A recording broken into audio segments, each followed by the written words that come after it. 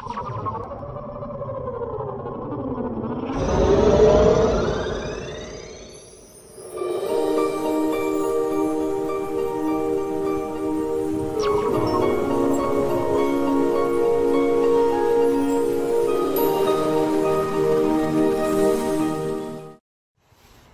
Hey guys, and thank you for watching my YouTube video. Please subscribe to my channel by clicking subscribe up there. And uh, I hope you enjoy my videos. Today we are going to be talking about the smart automated outdoor setup. And today we're going to be showing you how to connect the LED cabinet lights. You know, at nighttime we have um, needs for lights, especially in the outdoor kitchen. So we have LED lights under the granite countertops here and under the grill here and we'll go over what makes the lights go on in here. So you want to illuminate the area so when you open this at nighttime you can see and so we'll go over the electronic devices the lights themselves um, which brand which company and the open and closed door sensors which we use um, and how to implement that and get that working. So it's pretty seamless and easy. We'll go over all the products and as such, um, you'll know what to buy, where to buy it, and the best ones out there. And you can see here, I'll show you a little sneak peek here. Okay, so first and foremost, um, when setting up your outdoor automated lights uh, with Samsung SmartThings, you need to pick the type of lights you want. And the type of lights that I use here I get on Amazon, and that's the LEDMY LED strip waterproof LED light strip, super bright, DC 12 volt, 24 watt, and that's the 300 LED, the IP68. So it's good for underwater, it's waterproof, um, good for under kitchen cabinets, outdoor, and in fact, the one that we are using, I have a picture here. Um, I do have one already installed at this point, but I will show you what this does look like and what it comes with. So you can see here, this is 16 foot of strip, and it also does come with the the wire jack, okay, and we'll be talking about this as well. Um, this is a connector power adapter, and you'll need the female and the male, all right, and we'll show you why.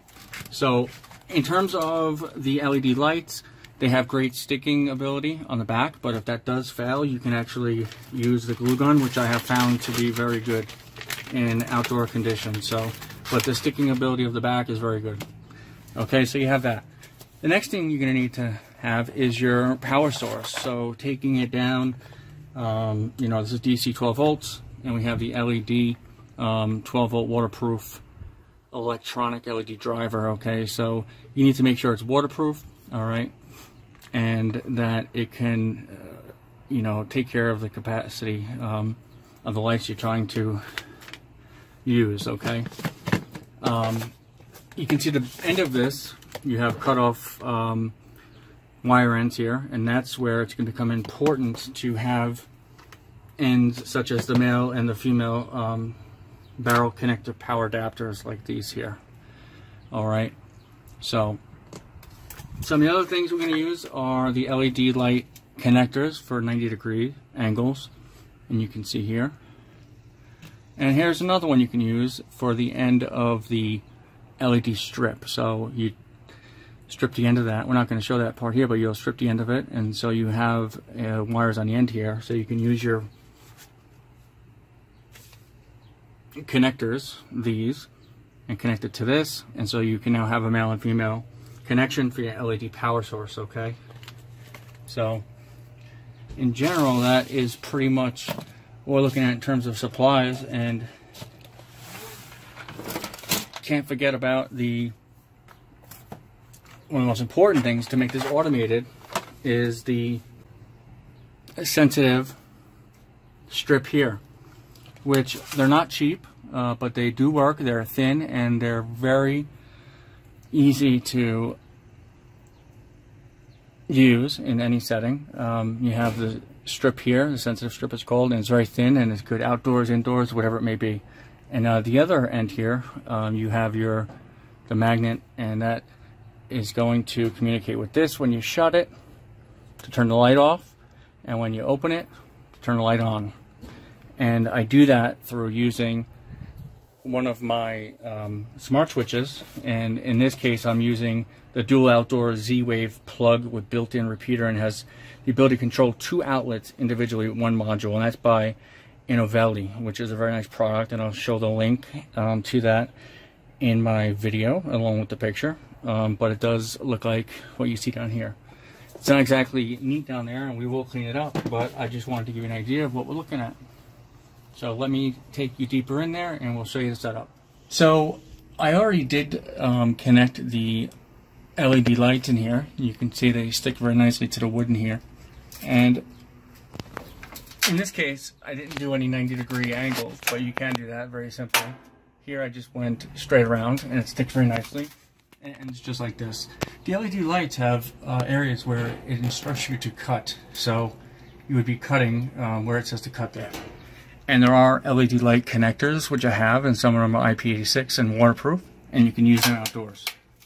In this case, I used a wire connector here, which attaches to the end of the LED light. And it gives me, at the other end, the wire. And now what I need to do is how to connect this to my power source. So that's where it's going to come in where we need to use the male and the female adapter.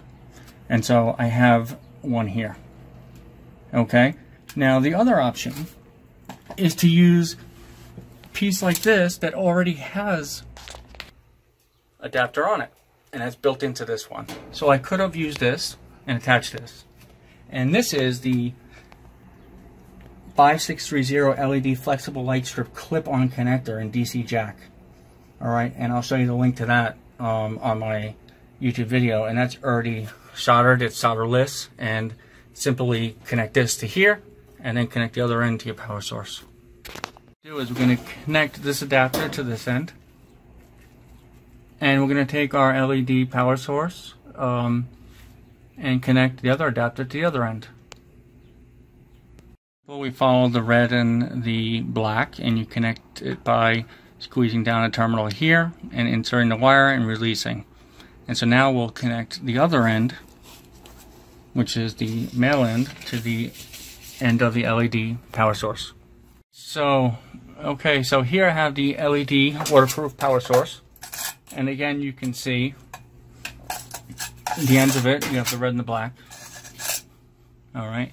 So what I'm going to do is I'm going to connect the other end here to this insert it into that.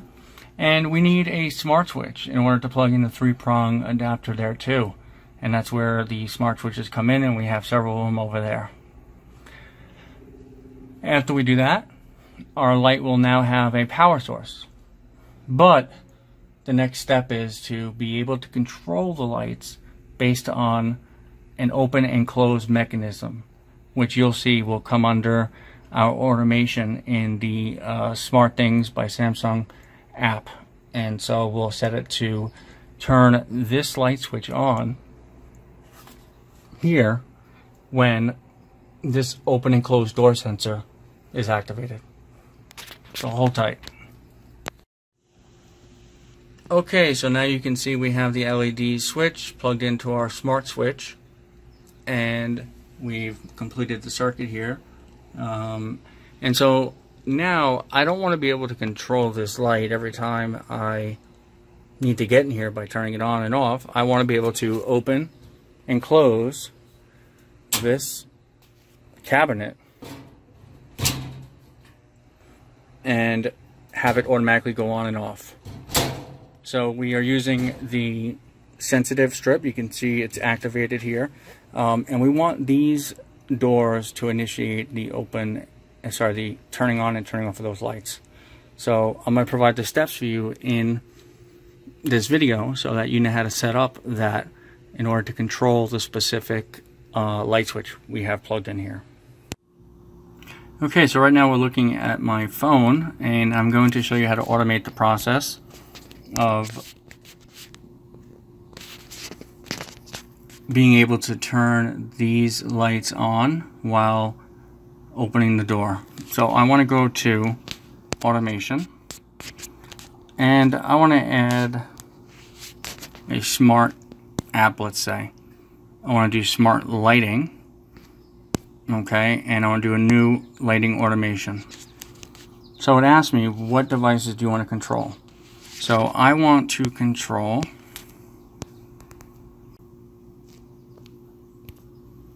my plug-in outdoor switch.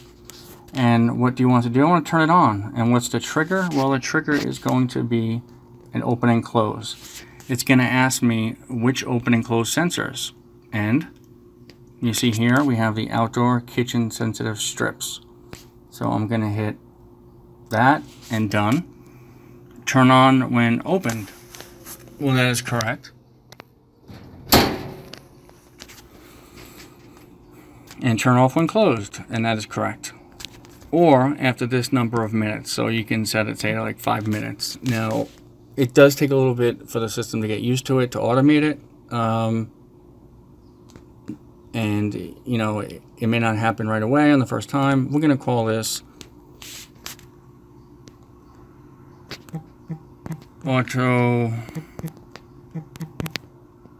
automatic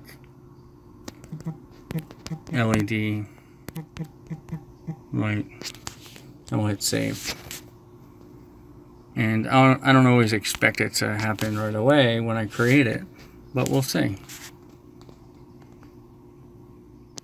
Okay so we added that smart app under the lighting automated lighting. So let's see what happens when we open the doors and more specifically at nighttime because we want to see what happens. And you can see the lights coming on and this will provide great illumination for you um, as you're working outside in your outdoor kitchen, your outdoor space. We have implemented this pretty much everywhere in the patio. Um, also, the outdoor fire pit works on the same uh, way with the switch, and that's more of a manually um, start from the phone itself in the Samsung SmartThings. So check out my the details below and you'll see the links to all the different products I used in this and how to automate the lights in your outdoor um, kitchen. Again, this is all uh, waterproof. Um, we use the Samsung SmartThings, the Z-Wave Plus Sensative strips, Inovelli um, Z-Wave uh, switch, which is great outdoors, and you can control two outlets with, with one there. Okay, so welcome to almost nighttime. We, you can see we have our other LED lights on here. And so let's go ahead and open the cabinet under here. And see what happens. And you can see instant light. Works great. Thank you for watching. Please subscribe to my channel and check out my other videos on my smart home and outdoor living in a smart home. And my drone videos as well, the DJI Phantom 4 Pro Plus.